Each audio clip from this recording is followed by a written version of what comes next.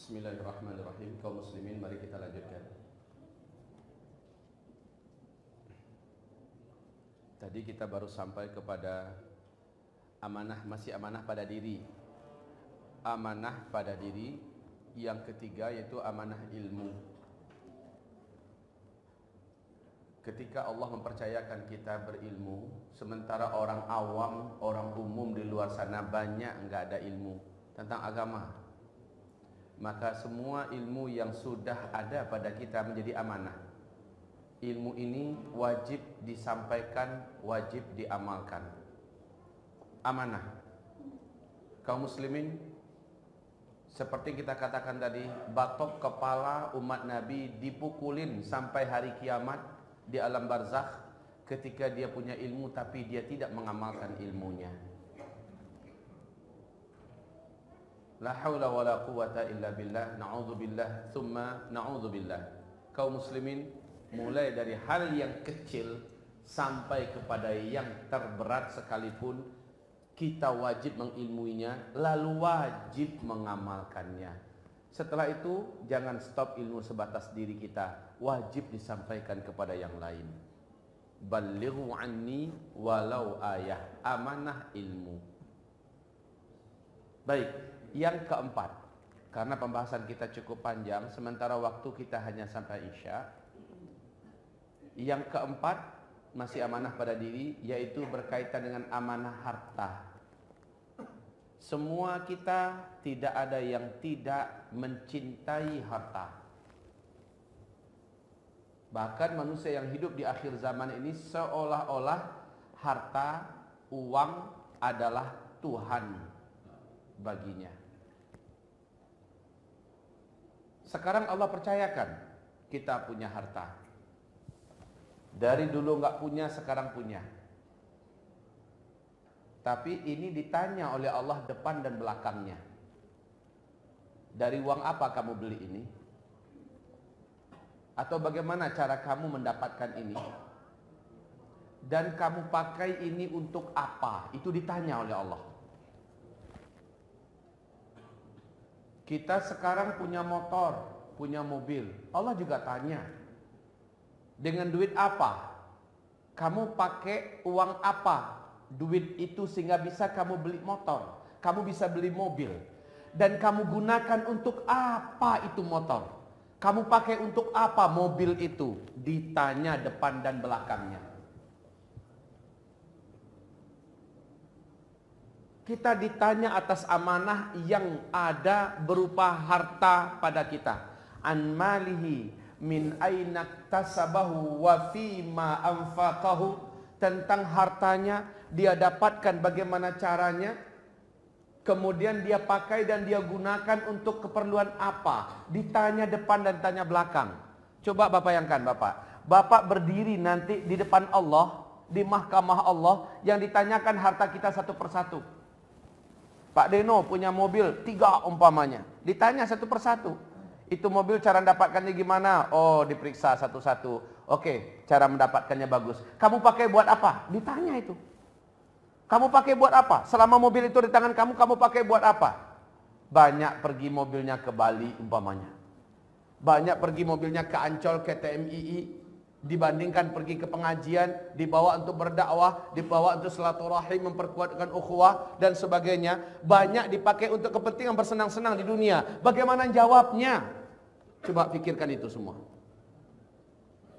Tentang hartamu, kamu dapatkan dari mana, bagaimana caranya, dan kamu manfaatkan untuk apa? Ditanya oleh Allah Subhanahu wa taala. Setiap kita Maaf jangan ada yang tersinggung Tapi kalau ada yang tersinggung Semoga ini menandakan pengajiannya atau isi kajiannya Mengena di sasaran. Kita buat rumah. Keperluan rumah itu sebatas untuk melindungi kita dari hujan Dari panas Dari angin langsung Dan dari penjahat-penjahat yang akan Mencelakai kita secara langsung. Berarti sederhana sajalah. Sekarang kita beli rumah kayak istana Delapan kamar tamannya luas. Atau kita bangun rumah dengan harga yang Masya Allah. Untuk apa? Lalu kita menjawabnya bagaimana di hadapan Allah? Okelah dengan harta kita yang halal. Lalu, lalu kita menjawabnya bagaimana di hadapan Allah? Sementara lihat di Syria sana. Bukan rumah yang bisa mereka tempat berteduh.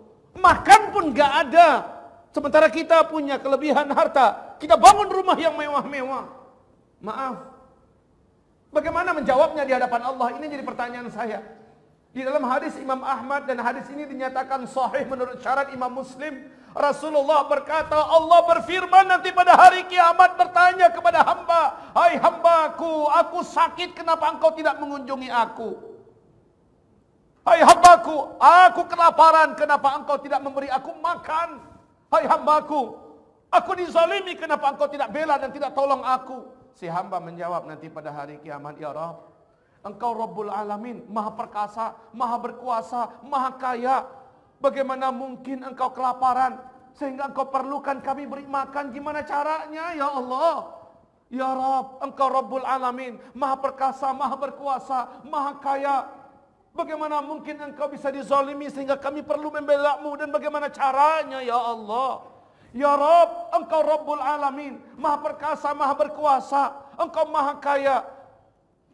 Bagaimana mungkin engkau bisa dizalimi sehingga perlu kami bela? Kelaparan perlu kami makan, sakit perlu kami kunjungi. Bagaimana caranya ya Allah? Menjawab Allah nanti pada hari kiamat, hai hambaku. Kamu dengar ada hambaku di tempat lain, kelaparan. Kamu punya kelebihan, kenapa kamu tidak beri kepada mereka makan? Bapak jawab apa nanti? Hah? Jawab apa nanti? Engkau dengar hambaku di tempat lain dizalimi dan engkau bisa menolongnya, engkau bisa membelanya. Kenapa engkau tidak menolong dan tidak membelanya? Engkau dengar hambaku di tempat lain sakit, seharusnya engkau yang merawatnya. Seharusnya engkau yang mengobatinya, membiayai pengobatannya dan engkau sanggup. Kenapa engkau tidak melakukannya? Subhanallah. Pagi tadi, subuh tadi, saya duduk di hadapan sahabat-sahabat saya saya katakan ada seorang sahabat kami yang saya cintai. Mungkin orang terdekat saya kenal baik ini. Zulkifli. Tiga minggu menjelang hajian kemarin istrinya kecelakaan. Istrinya kecelakaan dari motor. Patah tangannya. Berpisah tulang satu dengan tulang lainnya. Karena nggak ada duit, jangankan untuk ke rumah sakit, untuk berurut pun nggak ada. Akhirnya istri disimpan di rumah dalam kondisi patah Pak, bengkak. Tidak bisa tidur, tidak bisa makan, tidak bisa minum. Dan dia termasuk manusia beriman yang pantang menceritakan kesusahan pada orang lain. 25 tahun saya kenal dengannya. Saya katakan, kenapa tidak dibawa berurut? Beliau mengatakan, biayanya mahal dah. Eh, eh, ya Allah. Hanya ke saya dia berani bicara. Itu pun karena saya desak. Kau muslimin saya berangkat haji. Saya pergi berangkat haji. Di waktu haji saya lupa. Kemudian pas pulang, saya telepon beliau karena ada perlu. Dan beliau mengatakan keadaan istrinya sudah semakin parah. Tangannya sudah membengkak dan tangannya yang bagian ujung sudah tidak bisa lagi digerakkan. Tidak jadi kamu bawa berurut. Tidak, saya katakan berapapun biayanya bawa berurut. Dengan ala kadar yang ada di rekening saya, saya kirim sama beliau. Bawa berurut. Dibawa berurut, kata tukang urutnya, ini Paling cepat satu minggu harus diinapkan di sini. Biaya 3 juta. Saya katakan Zul, jangan pikir biaya. Urut, inapkan di sana. Tunggu anak di sana. Dah gimana cara nunggu anak? Anak-anak kan sekolah. Makan minumnya segala macamnya, mandinya segala macamnya Zul yang uruskan. Jadi nggak ada yang dampingi si Fitri katanya istrinya. Maaf ya, ini kalau bisa ada yang rekaman di cut aja dah supaya beliau nggak malu. Tapi ini kan cerita kita di belakang beliau kan. Baik kaum muslimin, terakhir saya suruh ronsen ke rumah sakit. Di ronsen pak, ternyata memang terpisah pak kayak bambu begini bukan patah begitu tapi udah berpisah begitu dan itu udah lewat satu bulan setelah pulang haji loh. Udah satu bulan satu minggu. Sekarang satu bulan dua minggu. Satu bulan dua minggu keadaan istrinya begitu. Nggak bisa tidur nggak bisa makan nggak bisa nggak bayangkan sebulan setengah menderita sakit. Hanya gara-gara nggak ada fulus dan dia tidak bercerita. Orang-orang yang terdekat dengannya nih datang dekat dengannya dia sangat akrab tapi dia pantang menceritakan kesusahannya pada orang lain. Ini Pak Deno dekat dengannya, itu Pak Supriyadi dekat dengannya, tapi dia nggak mau cerita. Saya tahu, haram bagi saya kalau saya diam. Haram bagi saya kalau saya tidak mau pedulikan. Saya katakan Zul bawa ke rumah sakit. Operasi dah biar saya bilang. Dah satu pin saja 20 juta untuk mempertemukan tulangnya. Daripada tangannya dipotong saya bilang kan. Bawa urusan biaya kami yang urus. Mbak. Pagi tadi saya ceritakan. Salah seorang di antara sahabat kami berkata. Ambu dari ambu 20 juta. Subhanallah. Ini iman Pak. Ini iman. Hartanya nanti yang seperti ini yang akan menyelamatkannya. Satu sahabat kami berkata, saya 5 juta. Ya. Dan dari hamba Allah pribadi saya kata, saya usahakan 10 juta. Agar ada perlombaan, diperkirakan 45 jutaan biayanya. Kaum muslimin agar ada perlombaan. Dan itu nampak. Nah orang-orang macam ginilah yang nanti di akhirat akan bebas dari pertanyaan. Karena hartanya dipakai untuk untuk yang Allah perintahkan. Untuk yang Allah perintahkan. Taib kaum muslimin. Yang lain bagaimana? Yang lain bagaimana? Untuk beli mobil dia sanggup dengan harga 200 juta, 300 juta. Padahal mobil itu kaum muslimin yang kami muliakan tidak mampu mendoakannya. Tapi orang macam ini. Tadi waktu saya telepon beliau Zul, alhamdulillah sudah ada yang yang mengeluarkan zakatnya 20 juta pada untuk Zul. Ya Allah besar kali dah katanya. Masya Allah. Orang macam gitu nggak pernah dengar nerima uang 20 juta Pak. Terima. Si Fulan juga insya Allah mengeluarkan 5 juta. Kemarin kita sudah keluarkan 6 juta. Insya Allah Zul, lanjutkan saya bilang. Begitu Pak. Baik kaum muslimin, yang macam-macam gini tentu ada. Lah di Syria tuh tiap hari memerlukan yang kayak-kayak gini. Kita bisa kirimkan. Saudara-saudara kita yang berangkat ke sana selalu ada. Duit kita yang dikirimkan itulah yang jadi milik kita dan pembela kita nanti pada hari kiamat. Tidak yang ditinggal-tinggalkan di dunia. Apalagi di akhir zaman. Mungkin hanya satu dua tahun ke depan Bapak sudah tidak bisa lagi menikmati harta yang Bapak punya. Yang kebawa ke akhirat itulah yang akan jadi milik Bapak. An malihi tasabah wa. Hartanya dia dia dia ambil dari mana? Dia kumpulkan bagaimana? Lalu dia pakai untuk apa? Ditanya dan nggak boleh beranjak loh ya. Kedua telapak kakinya dari tempat dia berdiri sampai dia menjawab. Sampai dia menjawab. Subhanallah kaum muslimin ini baru amanah pribadi. Sekarang masuk kita kepada amanah kedua yaitu amanah pada keluarga. Ada tiga yang dititipkan Allah pada keluarga. Istri, anak dan orang tua. Ini amanah. Ini amanah loh Pak. Kullukum ra'in wa kullu ra'in mas'ulun an ra'iyatih. Setiap kamu adalah pemimpin dan seluruh pemimpin akan mempertanggungjawabkan apa yang dipimpinnya. Suami pemimpin bagi istri dan anak-anaknya. Di sisi yang lain, suami juga mempunyai amanah berupa orang tuanya yang sudah lanjut usia.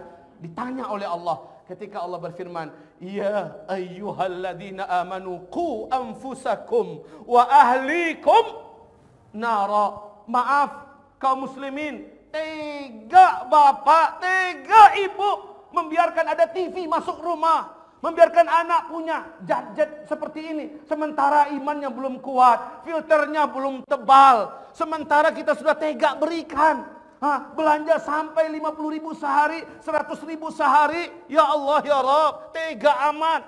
Ku anfusakum ahlikum nara. Kita sekolahkan anak kita di sekolah umum, SD, lanjut SMP, di mana SMP favorit harganya walaupun 5 juta satu bulan nggak ada masalah. Tapi ke pesantren kita mikir mau jadi apa anak saya.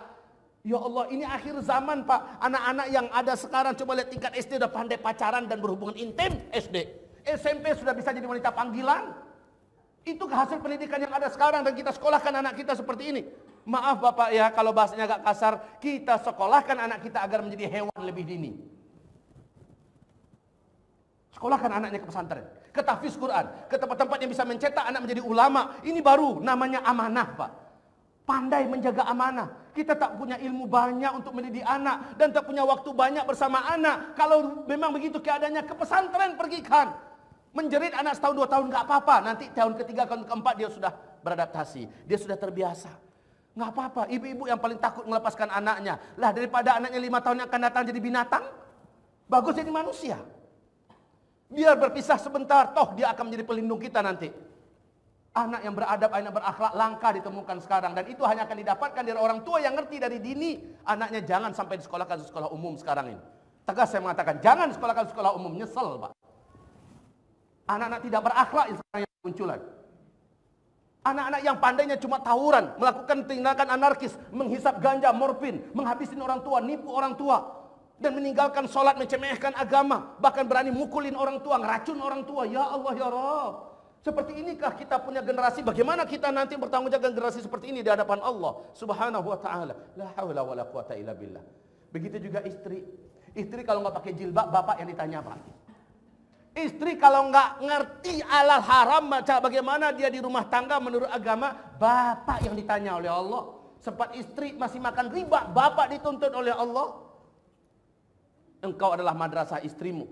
Engkau adalah guru bagi istrimu. Kalau merasa diri belum punya ilmu, ya tuntut ilmu. Tambah ilmunya. Jangan biarkan kita ala kadarnya. Ini malah di mana-mana, di mana-mana pengajian yang paling banyak itu sekarang adalah kaum wanita. Bapak-bapaknya pada sepi di mana-mana pengajian. Alhamdulillah ini Al-Falah termasuk yang hmm, jarang ketemu yang kayak gini Pak. Biasanya kebalikan, ibu-ibu yang banyak, bapak-bapak paling-paling sana, sak cubil sana, sak cubil situ. Tapi oke lah Bapak Ibu yang kami muliakan. Ini live streaming. Di mana-mana orang bisa mendengar. Maka simaklah bersama-sama. Bapak mempunyai tanggung jawab tentang istri di hadapan Allah Subhanahu wa taala. Tentang anak. Begitu juga amanah orang tua. Kalau orang tua masih hidup, beruntunglah. Beruntung jangan taruh di panti jompo anak duraka. Anak cilaka. Anak kualat nih. Naruhkan orang tuanya di panti jompo. Panggil orang tuanya, bawa tinggal dekat kita. Nggak bisa satu rumah, buatkan pavilion satu khusus untuk orang tua. Makan minumnya, kalau dia mau masak sendiri biarkan. Kalau dia tidak mampu masak, dimasakkan. Sebelum datang, baru baru pulang dari jauh, adab-adabnya kan begitu. Baru pulang dari jauh, jangan temu anak istri dulu, temui orang tua dulu pak. Tanyakan ayah, bunda, apa kabar, sehatkah? Selama ditinggal bagaimana keadaan? Ketika jauh ditanyakan, walaupun pada istri gimana keadaan ayah? Oh ayah sakit, sini berikan telepon pada ayah, saya mau bicara. Begitu pak adabnya. Jangan biarkan di panti jompo. Dari nafkah kita loh pak, dari nafkah kita. Biayai orang tua kita, dekat dengan kita sekali lagi. Jangan titipkan pada pembantu orang tua. Jangan titipkan dia pada panti asuhan. Sekali lagi saya katakan itu anak celaka, anak terkutuk, anak durhaka, membiarkan orang tuanya di tempat panti-panti jompo, apalagi terlantar.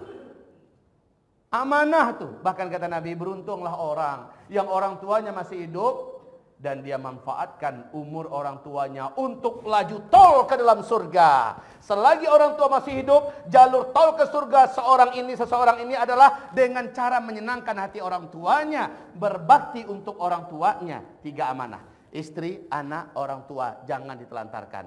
Dan ketiga-tiganya ini mesti dalam bingkai agama. Titik. Mesti dalam bingkai agama. Kalau istri ngajak ke bioskop, yuk mas ke bioskop. Sekarang masih zaman bioskop enggak? Hah?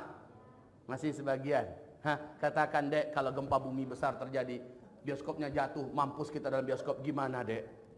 Tapi yuk ke pengajian. Gitu Pak, arahkan sebagai imam, arahkan. Lah si Mas ini selalu pengajian, pengajian, pengajian, pengajian. Katakan, Dek, hatiku ada di Ka'bah walaupun tubuhku ada di Jakarta. Di mana pun berada majelis ilmu adalah majelis orang-orang beriman. Aku tidak mau istriku selama engkau masih jadi istriku ada di tempat-tempat yang Allah dan Rasulnya malaikat-malaikat tidak ridha. Maka jangan pernah pergi ke tempat-tempat seperti itu dek. Imamnya kita, imamnya kita, yang mutuskan kita. Selama itu masih dalam ruang lingkup agama. Mas, sesekali pindah pengajian dong. Ini melulu aja di istiqlal. Sesekali kita ke al-falah umpamanya permintaan istri. Selagi masih pengajian. Dan pengajiannya pengajian ahlu sunnah wal jamaah. Yang menyampaikan juga ulama dan da'i yang lurus. Bawa. Refreshing sesekali nggak apa-apa. Mas kita jalan-jalan yuk ke mana? Ke Mekah katanya. Wah itu keren tuh pak. Tapi mas jalan-jalan yuk ke mana? Ke Bali. Wah deh, jangan deh. Gimana mempertanggungjawabkan harta kita di hadapan Allah. Sekali pergi ke Bali duitnya berapa? Tiketnya. Nanti monan mandir sana sininya. Sekali nongkrong di lapau nasi di sana entah berapa pula bayar. Iya kan? Bagaimana jawabnya di hadapan Allah nanti Bapak? Hamba-hamba Allah yang kami muliakan. Taib. Ini amanah terhadap keluarga. Selesai. Sekarang amanah terhadap diri, amanah terhadap keluarga, mana yang paling diperebutkan orang? Amanah terhadap diri tentang harta. Ini yang paling diperebutkan orang, betul tidak? Padahal harta ini dua tadi pertanyaannya. Dari mana dapatkannya, bagaimana caranya, dan ke mana dipergikan. Ya kan? Berat. Amanah tentang keluarga. Mana yang paling diburu-buru oleh manusia, diperebutkan manusia? Hah? Bini. Istri yang paling diperebutkan orang. Hah? Kalau ngelihat wanita mangkilik sekan yang seketik nak dolah kalah. Sudah mabuk dah. Pokoknya hidup matiku ku persembahkan untukmu. Seperti lagu Roma Irama. Memang engkau yang paling manis di antara gadis yang manis. Aku pun tak merasa heran kalau engkau menjadi rebutan. Kan begitu kan? Waktu SD pak, ini telinga dengar masalahnya. Dan rekamannya masih cespleng ketika itu. Terus apa katanya lagi? Sampai mati akan kuperjuangkan. Sampai mati diperjuangkan perempuan. Itu namanya amanah diperebutkan. Perempuan. Padahal ketika dia sudah sampai di pundak kita dan dia tidak solehah celaka nih suami. Nyari perempuan itu jangan karena gilesnya. Jangan karena cantiknya. Cantik itu perlu, wajib daripada punya bini tapi mata ke orang lain. Bagus kan punya bini mata ke bini itu. Baik, cantik itu perlu. Tapi itu bukan nomor satu. Nomor satunya agamanya dulu. Udah kelas. Agamanya kalau udah selesai, cantik baru nomor dua. Baik kaum muslimin, pilihlah jadi istri, jadi amanah. Nanti dia akan jadi ibu anak-anak kita. Saat kita tidak begitu banyak pandai dan tidak mempunyai waktu yang yang cukup untuk mendampingi anak-anak kita, dia menjadi madrasah untuk anak-anak kita. Dan seterusnya kita pun aman meninggalkannya agak lama-lama sehari dua hari aman. Sebab apa? Dia pandai menjaga dirinya. Mengingatkannya sebentar dek auratmu terbuka dia cepat tutupi. Makasih ya mas. Enak banget tuh pak punya istri yang kayak gini-gini. Tapi dek itu aurat mas ini keterlaluan banget sih diingatkan kayak gitu ngomongnya. Apa enaknya jadi bini kayak gitu pak? Dek sholat dek. Udah antar-antar di sholatnya tua-tuaan aja sholatnya. Gimana enaknya jadi bini kayak gitu? Dek kita masuk anak pesantren. Tak jadi apa anak kita mas? Menjadi masuk pesantren. Celaka punya suami, eh, punya istri yang kayak kayak gini. Ini amanah Pak, sulit jadi beban hidup kita. Yang udah terlanjur,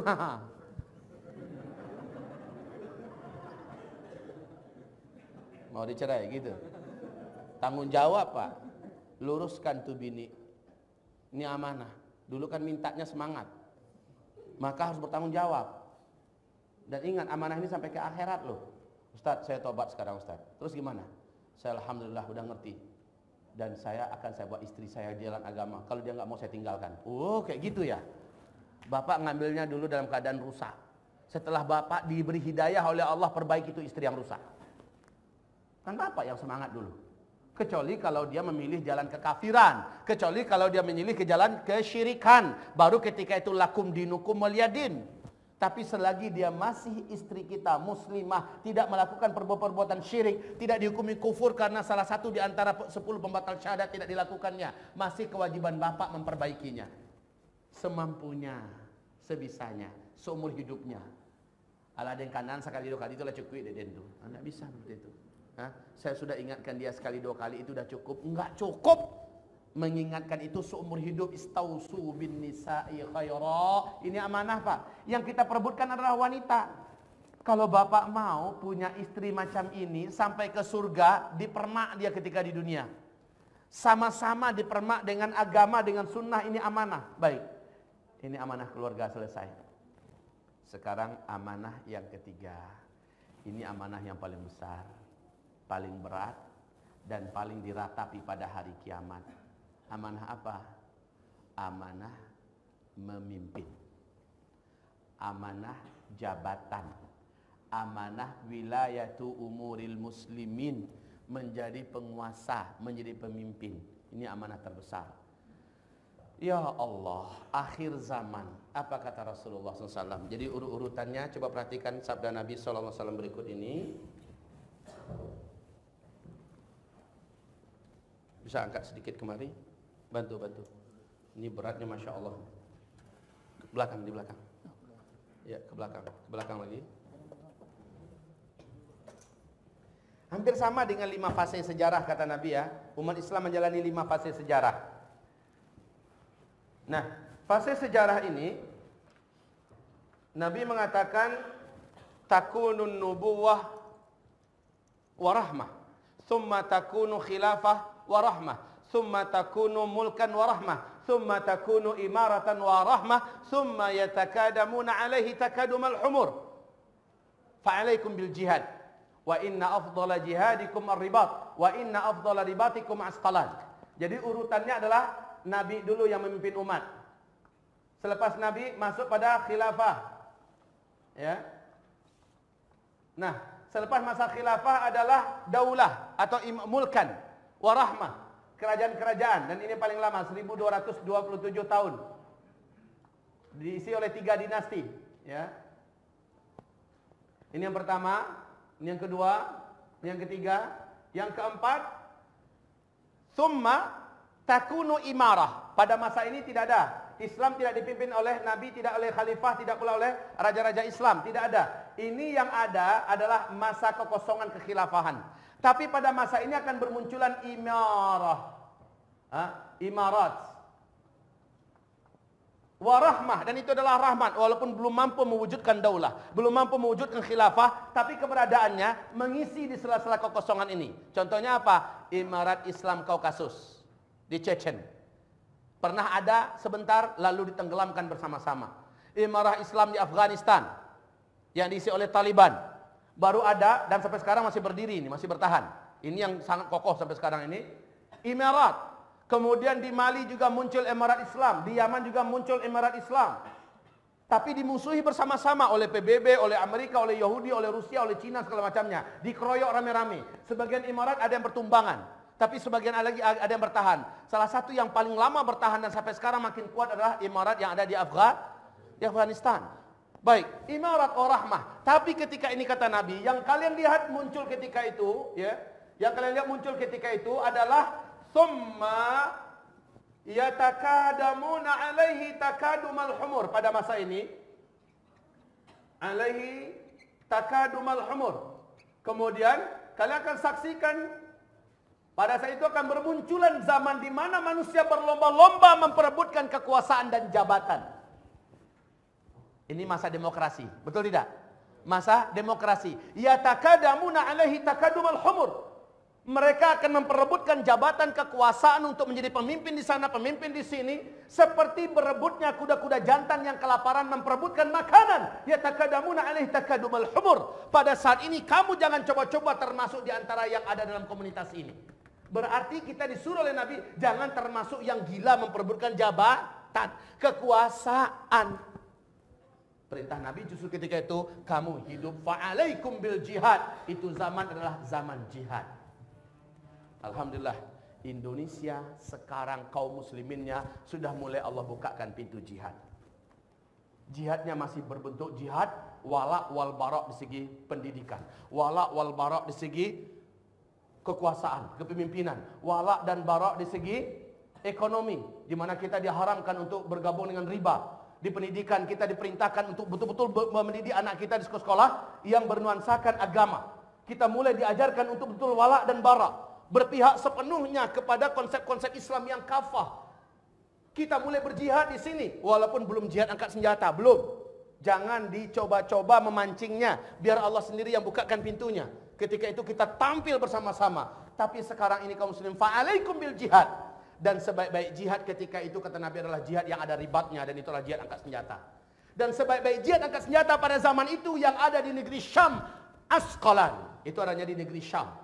Baik, Syam lah sekarang pusat jihad angkat senjata terbaik. Kalau kita di Indonesia masih jihad berbentuk pendidikan, berbentuk dakwah, berbentuk politik, berbentuk ekonomi, berbentuk apa yang bisa kita lakukan. Tapi walak baraknya jelas. Begitu. Sekarang kita hidup di zaman di mana para para manusia saling berlomba-lomba memperebutkan jabatan. Lihat. Dalam konsep Islam haram mengangkat pemimpin yang mau Pemimpin yang minta, pemimpin yang bilang, pilihlah saya. Pertama, saya bacakan hadisnya. Abu Dhar Al-Ghifari datang kepada Nabi sallallahu alaihi wasallam, "Ya Rasulullah, wallini. Angkatlah saya menjadi pemimpin di negeri Anu ya Rasulullah. Saya ngerti betul seluk-beluk negeri Anu. Insya Allah saya yakin saya bisa memimpin di sana. Apa kata Rasulullah? Ya Abadar, innaka da'if wa innaha la amanah. Hai Abu Dhar, engkau ini hamba Allah yang sangat lemah. Yang engkau minta barusan ini adalah amanah. Kepemimpinan itu adalah ama engkau ini lemah. Kenapa Nabi mengatakan Abu Dhar lemah? Coba saya tanya pada Bapak Ibu. Kira-kira Abu Dhar dibandingkan kita imannya kuat iman yang mana? Tapi kenapa Nabi mengatakan dia lemah? Karena kata Rasulullah, orang kalau sudah menginginkan sebuah jabatan, lalu dia dapatkan jabatan itu, Allah tidak akan menolongnya selama dia memimpin. Jadi lemah nggak dia? Tapi orang yang tidak menginginkan jabatan, lalu dia diminta untuk memimpin. Dia terima, Allah akan tolong dia dalam memimpin. Maka dalam Islam konsepnya kalau ada orang minta-minta, angkatlah saya, pilihlah saya, pilihlah aku coblos nomor anu yaitu aku. Hah, orang yang macam gini jangan dipilih. Kenapa? Dia udah lemah. Allah akan melepaskan diri daripadanya. Allah akan tolong kepemimpinannya. Dan merata manusia sekarang memang betul dalam hadis itu. Thumma yatakadamuna alahi takadumal humur. Betul-betul sekarang ini Pak. Orang bahkan mengeluarkan duit yang tidak begitu, yang tidak sedikit. Untuk bisa memenangkan kepemimpinan. Ini masaknya dan ini amanah yang mereka minta. Wa innaka la Sesungguhnya engkau ini sangat lemah wahai Abu Dhar. Baik, lanjut kaum muslimin. Umar bin Khattab di masa pemerintahannya pagi hari sudah memutuskan bersama ahlul halli wal aqdi siapakah yang akan diutus menjadi gubernur untuk daerah Anu. Tertunjuklah nama Fulan bin Fulan. Pagi ya, petang harinya Fulan yang tertunjuk itu datang ke rumah dinas Umar bin Khattab. Tempat kerja Umar. Ya Amirul Mukminin, tugaskanlah saya menjadi gubernur di daerah Anu. Insya Allah saya akan memikulnya dengan sebaik-baiknya. Apa kata Umar? Aduhai kiranya engkau tidak datang. Karena pagi tadi kami sudah putuskan bersama ahlul halli wal aqdi. Memang yang akan menjadi gubernur itu adalah engkau. Tapi setelah engkau datang petang ini. Maka namamu kami coret. Namamu kami hapus. Enggak jadi kamu yang memimpin. Karena setelah orang meminta maka Allah tidak akan menolongnya. Sementara sekarang rata-rata mencari pemimpin enggak? Mah, maksud saya mencari agar dirinya menjadi pemimpin enggak? Mencari agar dia dia menjabat sebagai pemimpin enggak? Iya, menggunakan kendaraan yang bernama demokrasi. Kalau kalau dia menginginkannya, maka Allah tak akan tolong dia. Baik kaum muslimin, saya tidak akan masuk ke area politik praktis ya pada malam hari ini, walaupun Bapak tahu apa yang seharusnya kita lakukan di Jakarta ini. Pesan saya sebelum saya menentukan apa dan siapa karena itu bukan wewenang saya yang terbaik adalah jangan pernah untuk trip sekarang ini golput. Kalau Bapak biarkan maka Bapak membiarkan negeri ini ada dalam kancah kebinasaan. Pakai suaranya. Manfaatkan apa yang Bapak punya hak dan wewenang. Ketika uh, ibu kota Jakarta pribumi-pribumi kita diusir dengan cara yang hina. Tiap malam selalu ada penggusuran. Sekian yang dibersihkan. Kemudian mereka-mereka masuk dengan KTP-KTP palsu mereka untuk bisa memenangkan. Lalu kita golput pula. Ini yang mereka inginkan. Jangan pernah Pak. Baik, selanjutnya kaum muslimin kita kembali kepada topik kita. Nahnu kaum la nuwalli man Kami adalah satu kaum yang tidak akan memberikan jabatan kepada orang yang menginginkannya karena jabatan adalah amanah. Lanjut kata Nabi kepada Abu Dhar, "Hai Abu Dhar, innaha amanah wa innaha yaumal qiyamah khizyun wa nadamah." Kepemimpinan ini kelak pada hari kiamat hina dan orang yang memimpin pada hari kiamat akan menyesal. Menyesal. Yang punya fulus sekarang di antara kita lalu mendukung nak kamu naik nak dek kamu maju dek ini uang dari abang abang ikut mendukung kamu dia akan bertanggung jawab di hadapan Allah dia jerumuskan adiknya pada kancah yang menghinakan dia jerumuskan anaknya pada tempat yang paling hina pada hari kiamat Para pemimpin pada di dunia ini pada hari kiamat menyesal. Ini pemimpin level para sahabat loh. Nabi masih ngomong gitu dengan Abu Dhar. Apalagi memimpin zaman sekarang. Yang lingkungannya bukan sahabat yang akan dipimpin. Betul tidak? Lingkungannya orang-orang jahil, jahil. Yang akan dipimpin sekarang. Sementara level sahabat saya akan dipimpin kata Rasul jangan. Kalau udah minta kamu akan ditolong oleh Allah. Maka tega amat bapak nyuruh anak masuk anak calonkan diri sebagai anggota dewan, calonkan diri sebagai lurah, sebagai camat, sebagai bupati, sebagai gubernur. Bapak keterlaluan pak. Sufyan Al-Thawri marah-marah ketika dia mendengar ada sahabatnya seorang ulama diangkat menjadi mufti di daerah Anu. Apa katanya? Siapa yang menghancurkan si Fulan? Sufyan Ats-Tsauri menganggap bahwa diangkatnya sahabatnya sebagai orang alim menjadi mufti. Mufti ini kan tahu fungsinya, Pak? Hah? Pemerintahnya, apa tuh ulamanya pemerintah yang khusus bagian memfatwakan ini dan itu. Apa kata Sufyan Ats-Tsauri? Siapa yang mencelakakan si fulan? Dianggap mencelakakan. Kepemimpinan itu berat. Umar bin Abdul Aziz malah meratap ketika dirinya resmi terpilih oleh Alul Halli wal Aqdi sebagai khalifah. Nangis kayak nggak bertulang tubuh tuh orang. Nangis, tergeletak terus itu. Nangis, nangis. Basah jubahnya bagian depan. Ini nangis terus. Ya Rab. Dan mulutnya berkata, Ya laitani lam talidni ummi. Aduhai kiranya aku nggak pernah dilahirkan oleh ibuku. Coba lihat Pak.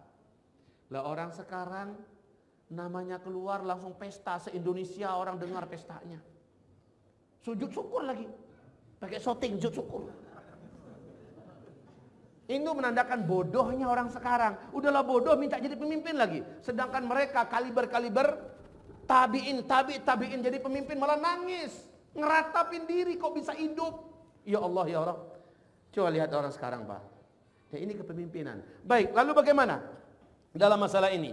Amanah kepemimpinan ini ibarat Allah yang kami muliakan yang akan dipertanyakan dan memberatkan urusannya nanti pada hari kiamat adalah ketika pemimpin ini satu, satu, tidak peduli dengan nasib, dengan kemiskinan dan akan hajat serta kebutuhan-kebutuhan rakyat yang dipimpinnya. Rasulullah sallallahu alaihi wasallam bersabda dalam hadis riwayat Abu Daud, Ibnu Majah, Al Hakim. Hadis ini dalam kitab Sahih kitab Sahih oleh Albani mengatakan bahwa hadis ini sahih. Kaum muslimin man walla min umuril muslimina syai'an. Siapa pun yang memimpin kaum muslimin fahtajaba duna khallatihim wa hajatihim wa faqrihim lalu dia menghindar-hindarkan dirinya dari hajat orang-orang yang dipimpinnya. Nggak peduli, nggak mau tahu. Ketika ada yang datang malah dicegat oleh lapisan birokrasi yang begitu berlapis sulit untuk bisa tembus. Hah, ya, kalau Umar bin Khattab gimana beliau? Gampang nggak? Orang Yahudi dari Mesir datang berkunjung ke Madinah Al Munawwarah ketemu ketemu dengan orang nomor satu dalam Islam Umar bin Khattab. Ketemunya di mana Pak? di bawah batang kurma lagi nyandar. Begitu gampangnya pemimpin ditemukan. Lah kalau sekarang lapisan birokrasinya begitu sulit. Boro-boro dapat proposal, udah pakai ribuan suara, pakai pakai apa demo-demo semacam nggak didengar. Semua media supaya, supaya dibung, uh, sengaja dibungkam. Fahtajaba lalu dia menutup diri duna hajatihim wa khallatihim wa faqrihim dia nggak peduli orang kelaparan, dia nggak peduli anak-anak yang nggak bisa sekolah, dia nggak peduli dengan yang ini dengan itu tentang rakyatnya. Apa kata Rasulullah Sallallahu Alaihi Wasallam? Ihtajaballahu anhu duna hajatihi wa khallatihi wa faqrihi. Pada hari kiamat Allah juga menutup diri dari orang ini.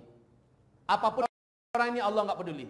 Apa pun hajatnya di pada masyar Allah nggak peduli apa pun yang dia maukan termasuk setidaknya uh, bisa sedikit banyaknya melobi Allah lah memohon kepada Allah pengampunan dan keringanan segala macamnya Allah nggak peduli Allah tutup juga ini pertama karena dia di dunia nggak peduli. Lah sekarang bukan nggak peduli lagi pak. Malah ngusir rakyatnya. Ngusur sana sini. Maaf kaum muslimin yang kami muliakan. Kafir lagi. Sedangkan muslim saja dibeginikan Allah nanti pada hari kiamat. Dan kita sebagai selaku muslim paling mayoritas malulah jadi rakyat yang tinggal di Jakarta sementara pemimpinnya masih seperti itu. Mesti dicongkel tuh, Pak. Maka wajib satu DKI Jakarta kompak untuk nyongkelnya. Semoga Allah hinakan dia. Karena dia telah menghinakan agama Allah dan kaum muslimin. Penduduk DKI asli murni lalu mendatangkan manusia-manusia dari kampung halamannya yang nggak ngerti bahasa Indonesia dengan KTP-KTP palsunya. Wala quwata illa billah. Kaum muslimin yang kami muliakan. Selanjutnya, min amirin asyaratin illa yu'ta bihi yawmal qiyamah maghlulan la yafukkuhu illa al-'adl aw yubiqhu al-jur. Siapa pun pemimpin yang sempat di bawahnya 10 orang saja yang dipimpinnya. Hah? Siapa pun pemimpin yang sempat di bawah kepemimpinan 10 orang aja. Sekarang level kepemimpinan paling rendah di bawahnya itu RT Pak ya. RT ya. Ada berapa orang yang dipimpin di bawah RT? Wih, banyak. Ada berapa? Ada berapa kakak? Lah satu kakak itu bisa jadi lima orang, enam orang ya kan? Ini sepuluh orang aja jadilah yang dipimpin. Kemudian kata Rasulullah Sallallahu Alaihi Wasallam, dia tidak akan pernah Allah selamatkan pada hari kiamat. Tidak akan kecuali apabila dia adil kepada 10 orang yang dipimpinnya ini. Adil. Kalau dia adil kepada 10 orang yang dipimpinnya ini, kalau dia adil. Nah itu level camat dan itu pun camatnya sekarang sudah camat kebablasan. Maksud camat kebablasan apa? Eh, maaf bukan camat RT maksud saya. RT kebablasan. Ini 10. Kalau RT sekarang bisa-bisa 100 kakak. Betul itu ya? Bisa-bisa 100 kakak. 10 aja udah kayak gini, wajib adil pada mereka. Adil itu apa yang dimaksud dengan adil? Adil itu adalah wad'u syai' fi mawdi'ihi, meletakkan sesuatu tepat pada tempatnya. Anak usia sekolah sudah wajib sekolah, maka harus kalau orang tuanya nggak mampu, sang RT harus mengupayakan bagaimana anak ini bisa sekolah. Orang yang sudah dewasa, orang yang sudah mampu untuk bekerja, sudah ingin untuk menikah, sementara ada kesulitan ekonomi, si RT harus mencarikan jalan bagaimana dia bisa menikah, bagaimana dia bisa ditopang ekonominya, dicarikan jalan-jalannya. Dan maaf Pak, selama saya di Sydney, di Australia, pemerintah Australia melakukan ini. Pemerintah Australia melakukan ini. Para pengangguran di sana dibiayai Pak sampai dia punya kerjaan. Dan pekerjaan itu pemerintah yang mencarikan. Masya Allah. Kalau ada yang udah pensiun, maka dia akan diberikan belanja belanja bulanannya 600 sampai 650 dolar sama dengan 6 juta atau lima setengah juta tiap minggu pak dikasih oleh pemerintahan Australia di sana ayahanda kita yang usia 81 ini kalau hiduplah di Australia ha, mau haji tiap tahun bisa Taib begitu pak kaum muslimin selanjutnya Rasulullah Shallallahu Alaihi Wasallam insya kita sampai jam berapa yang benar. Ya Allah ya Rabb. Saya harus mengisi di Masjid Al-Azhar. Mari mari saya cepatkan saja. Kemudian yang yang kedua, tidak peduli dengan agama rakyat. Kalau ada wanita muslimah nggak pakai jilbab, yang bertanggung jawab nanti pemimpinnya. Kalau ada rakyatnya yang sudah wajib sholat laki-laki tapi nggak sholat, yang bertanggung jawab nanti pemimpinnya di hadapan Allah. Ini amanah. Jangan sok-sok ingin jadi pemimpin, jadi camat, jadi lurah, jadi anu. Tapi rakyatnya dipertanggungjawabkan nggak di hadapan Allah. Sholat rakyatnya gimana? Diperhatikan nggak? Sempat ada yang minum minuman keras, dia yang akan ditanya duluan pada hari kiamat. Ya Allah, ini yang menjadikan para pemimpin itu ketakutan Pak. Kalau dia beriman ketakutan. Bagaimana saya mempertanggungjawabkannya? Masih ingat nggak? Laparan. Siapa yang tidak? Lah kalau gubernur yang dipimpinnya. Bagaimana dengan presiden se-Indonesia yang dipimpinnya? Maaf, pantas saja pada hari kiamat paling banyak di dalam neraka aku lihat dari umatku adalah orang kaya, para pemimpin. Orang kaya dan para pemimpin. Ini yang paling banyak ketemu di dalam neraka nanti. Para pemimpin rata-rata dalam neraka Pak. Karena pemimpinnya nggak peduli dengan agama rakyatnya. Rakyatnya mau sholat nggak sholat sebodoh. Rakyatnya mau mabuk mau teler sebodoh. Rakyatnya mau melacurkan diri mau dijual ke sana kemari sebodoh. Pemimpin macam ini dalam neraka. Ya hadisnya terang jelas. Kaum muslimin, alangkah ngerinya kalau sempat anak dan keluarga kita yang memimpin sementara yang dipimpin kayak gini. Berat jadi pemimpin. Anies Baswedan kalau dia tahu hadis ini dia akan gemetaran lututnya sampai meninggal. Agus juga begitu. Kalau dia dengar ini berita, kalau masih mau jadi pemimpin, mesti bertanggung jawab pakai kontrak dengan orang-orang beriman sejakarta ini. Ya. Karena ini berat sampai ke akhirat loh. Kalau gitu kami nggak mau mimpin Ustaz. Lalu siapa? Ahok yang naik. Begitu. Semua antum nggak layak tinggal di Jakarta. Nggak halal tinggal di Jakarta. Dan apa mau diserahkan ini negeri kepada orang kafir? Dayus haram mencium bau surga. Ayo pilihan yang mana? Sulit ya. Baik kaum muslimin yang kami muliakan. Dan yang keempat, eh, yang ketiga Sepertinya kita memang harus stop dulu sampai di sini. Saya minta maaf, pengajian kita dari jam 5 tadi sampai sekarang belum selesai sekarang. Berarti akan ada sesi kedua. Kalau umur saya masih ada. Nah, kita akan ketemu lagi di pertemuan yang akan datang insyaAllah. Malam ini saya harus pergi ke Masjid Al-Azhar. Ya, dan saya sudah jamak tadi sholat, jadi tafadhol langsungkan sholat isyaknya. Siapa keluarga yang belum pernah mendengarkan kajian tentang akhir zaman, saya akan uraikan di sana berkaitan huru hara akhir zaman. Tafadhol. Demikian saja mohon maaf lahir batin kaum muslimin. Berlindunglah kepada Allah daripada amanah yang selama ini sudah kita buru dan kita perebutkan dan bertanggung jawablah ketika amanah itu sudah sampai di tangan kita. Tutup dengan doa kafaratul majlis. Subhanakallahumma bihamdika asyhadu an la ilaha illa anta astaghfiruka wa atubu ilaik. Assalamualaikum warahmatullahi wabarakatuh.